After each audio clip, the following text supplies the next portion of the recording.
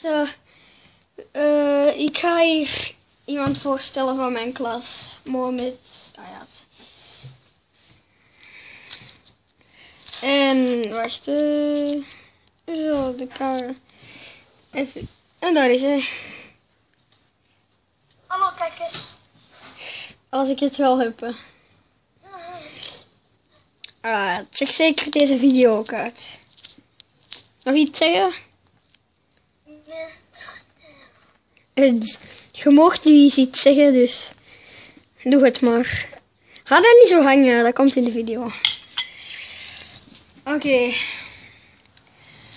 Eh, we zullen wel nog een andere keer iets laten weten.